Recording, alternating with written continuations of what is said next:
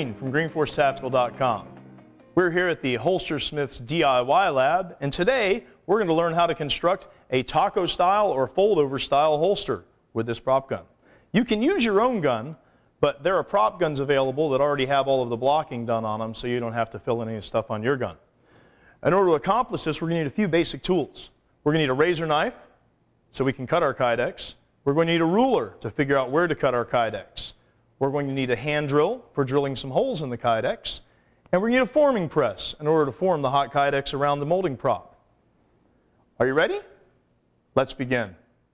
So, the first step in constructing the taco or fold-over style holster is we're going to have to determine the size of the material or kydex that we're going to cut, heat, and use for this item. A rule of thumb is if you're making a taco holster, you should generally start out with an 8 inch by 8 inch piece of kydex.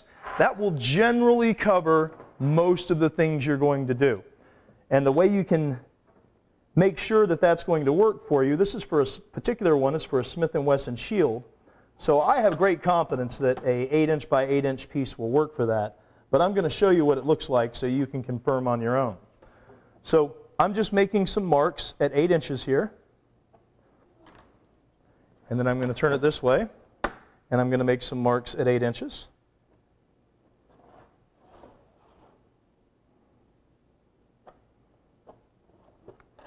And then I'm going to go all the way out here at the edge because I'm going to cut this piece into an 8 inch strip I've just gone ahead and done the layout before I cut it in the other axis so that I don't have to worry about it once it's small.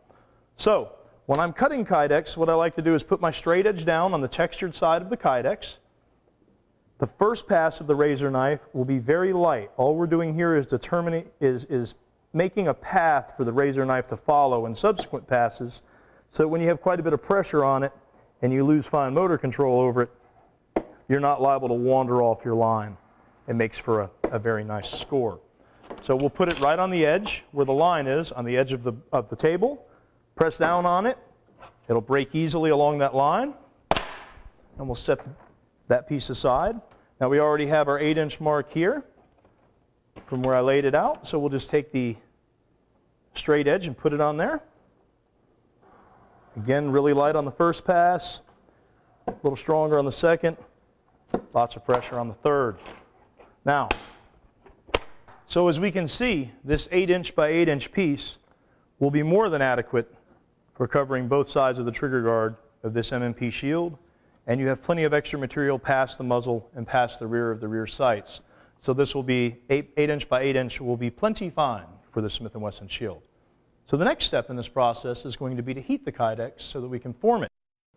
Let's go heat some kydex. So the next thing we're going to do in the process of making this taco fold-over style holster is we're going to heat the kydex in the toaster oven to between 305 and 325 degrees.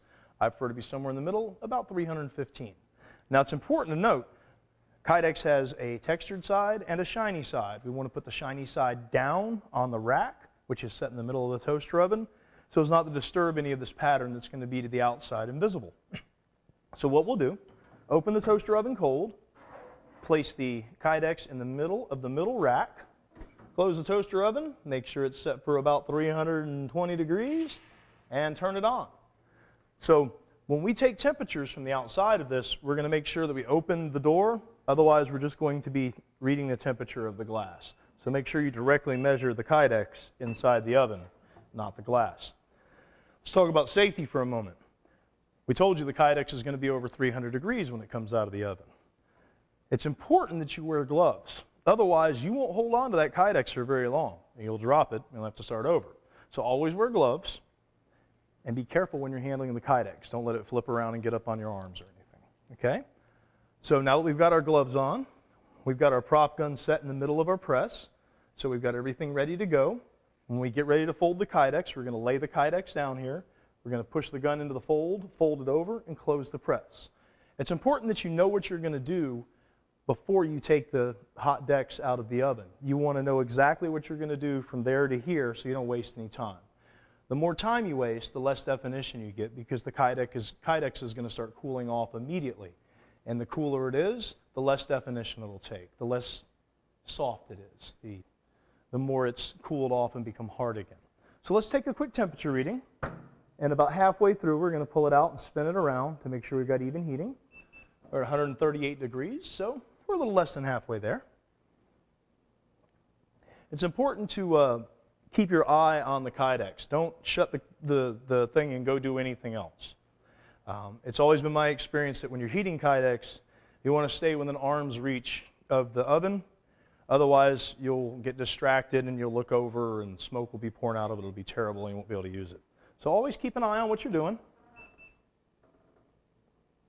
Don't wander off.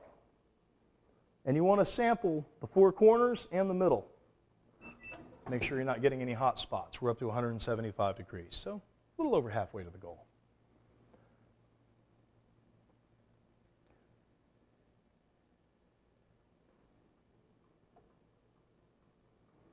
Another thing to look for when you're watching your Kydex, watch the edges. The Kydex, as it heats, the heat won't distribute evenly through the dex, so the edges will frequently roll up and then roll back down. They're starting to roll up just a little bit right now. You can see them coming off the rack, and that lets you know that the heat's starting to transfer through the Kydex. When it lays back down, it has become equal most of the way through the Kydex, and the Kydex is relaxed. So let's take a quick sample and go ahead and plan on rotating it at this point. So we're at 245 degrees. You can see it's already a little soft. And we're headed for 300.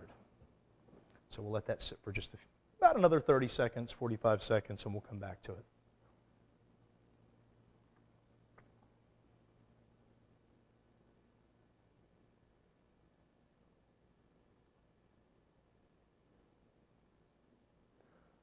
It's always a good idea to put your rack exact as close to the middle as you can get inside. You don't want it all the way down along the bottom because in the bottom it'll be closer to the bottom heating element. The bottom will take heat quicker, or all the way up at the top where it'll also it'll be closer to the top elements and it'll take heat quicker on the top. So put it right in the middle. Let the hot air boil around in there and evenly heat both sides of the Kydex at the same time, and you'll get much better results. I can smell the second smell, which means we're getting close. We are at 291. So now's the time. We're in the short strokes. It won't be but another 10 or 15 seconds. It's a good opportunity to reconfirm that our prop gun is all ready to go for the mold. We'll walk over here, take our final reading, and go ahead and plan that if the readings are good, we're going to go ahead and pull it out and get to work. So let's look. 316 degrees in three places. Take our piece of Kydex, lay it down in here, push the prop gun into it, now you see we can hold it from the outside here while we get our press set.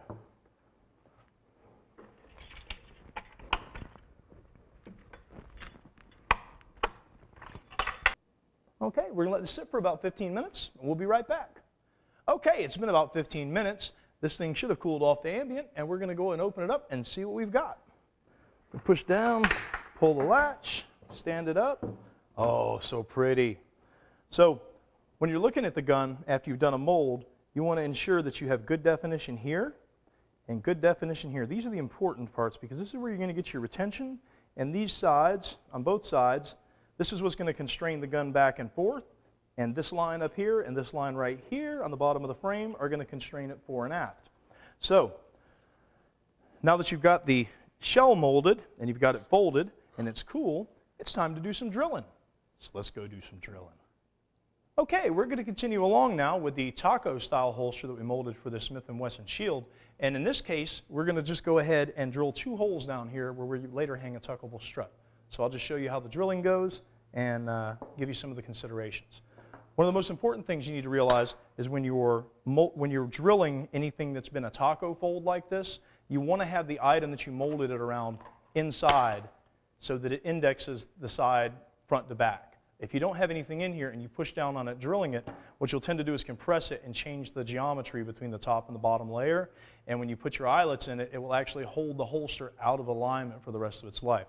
So to avoid doing that, a little pro tip is to go ahead and leave whatever you molded, whether it's a knife or a gun or a radio or a flashlight, put it back in there before you drill it, and it will hold the sides aligned for you while you're drilling, and it'll keep you from having that functional misalignment, okay? So let's go ahead and go down here, and I'll show you how this goes. So one of the things we need to consider is we want to be far enough away from the trigger guard here so that we can get hardware. And the other consideration is we don't want the strut to have to come straight up and down like this. We want it to come at a slight angle. So I'm going to lay out my second hole along this, this axis so that when the strut's put on it, it will be out of the way of your finger when you go to grip the gun. It won't be poking you in the hand. So now that I've got the first dot there where I'm going to put my first hole, I'm going to go ahead and drill that hole because that hole is free. And then we'll just go ahead and place our eyelet from the back side to the front side so that we can use it to secure our drill guide and we'll just swing it to where you can see the lineup line inside there. So you're just going to put it like that, put a little quick clamp on it so it doesn't walk around on you, get it positioned exactly where you want it, and go ahead and drill that second hole. Hi, we're about halfway through the video, so I want to take a moment. If this seems like it's a little too much for you or you just don't have the space, we'll be happy to build you a blaster scabbard or a knife sheath or whatever you'd like. Just hit us up on our website at greenforcetactical.com. Please follow us on Instagram, on Twitter, and on YouTube at Green Force Tactical. Again, we appreciate you watching and enjoy the rest of the video. Thank you.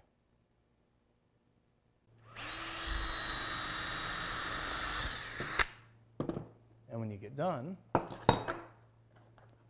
it'll look a little something like that. So you've got those two holes along that axis that allow you to go ahead and mount the strut. So we're going to go ahead and go over to where we're eyeletting, and I'll show you how that goes. So this is what it's going to look like, and we're going to go ahead and eyelet it up right there for you, okay? So let's meet over at the eyelet press. Okay, so now we're going to put some eyelets in this taco holster that we molded for the Smith & Wesson Shield earlier. We're over here at the flaring press, and I'll show you how to insert the eyelets and get them flared correctly. So you have to decide which side of the holster is going to be the front or the back. This is a right-handed holster, which is the way I'm building it. We're going to put the finished side of the eyelets, the part that's already rolled, to the front. And we'll take another one and put it down there below it. Now on the back side, this is where all the work's going to take place. This is where the rolling is going to take place. So we're going to put that in the die with the rolling part up. And we're going to take the pre-rolled section right here and set it in the bottom die and move it around and you'll feel it when it gets exact. Oh, there we go. Now when I move this around, I'm moving the whole plate. So it's, it's locked into the die. Now I'll just start advancing the top portion of the die until it comes down into the hole. And now I'll move the rig around a little bit and watch the handle here. You'll see it drops a little bit. I'll let you know you've got everything in line. And now you just go ahead and roll the eyelet. You repeat it for the other one. Find the die. Get it locked in the way you want it. Make sure everybody's happy. And then bring down the top part of the die. Rotate everything. Make sure everything's happy. And squish it. So, this is what the front side of it's going to look like. This is just our layout mark. Don't worry about that. And that's what the back side is going to look out. Next, we're going to go over to the saw, and we're going to go ahead and start establishing the final shape. So, I'll see you at the saw. Okay, now we're ready to go ahead and cut the final shape. So we're over here at the saw. This is our Taco Smith & Wesson shield. So what we're going to do, always wear safety glasses. We're going to turn on the saw. We're going to start up here at the nose.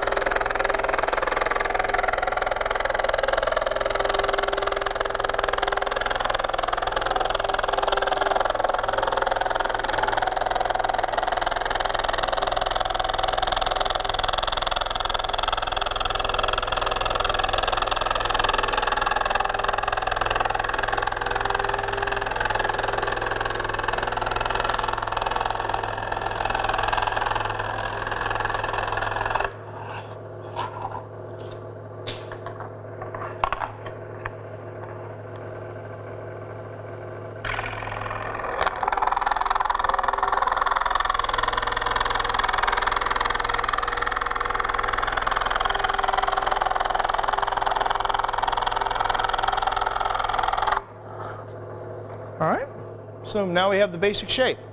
And we'll go ahead and head over to the sander and finish this up and show you what the final shape looks like. Okay, here we are with the taco holster for the uh, Smith & Wesson shield that we molded. And we're going to go ahead and take it over here to the Kalamazoo grinder and go ahead and put the final, final shape to it. Okay, let's do that.